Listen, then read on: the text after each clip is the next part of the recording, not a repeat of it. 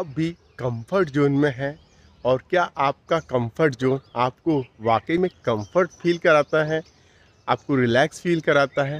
हाँ दोस्तों एनालिसिस कीजिए इंटरस्कोप कीजिए खुद का कि वाकई जब आप कंफर्ट जोन में हैं तो उस कंफर्ट जोन ने आपको कंफर्टनेस प्रोवाइड करनी चाहिए ना? लेकिन ये ऐसा होता नहीं। आप सुबह से शाम तक रेड रेस में दौड़ते चले जा रहे हो, दौड़ते चले जा रहे हो, दौड़ते चले जा रहे हो और एंड ऑफ़ द डे आपको मिल क्या रहा है? क्या है आपका पैशन क्या है आपका पर्पस उसको जानो और अपने अंदर की स्किल को डेवलप करके अपने पैशन और पर्पस के लिए जी के देखो दोस्तों, कितना मज़ा आता है, बेहतरीन लाइफ है आपकी भी। और आप भी बहुत जल्दी ये सब कर सकते हैं।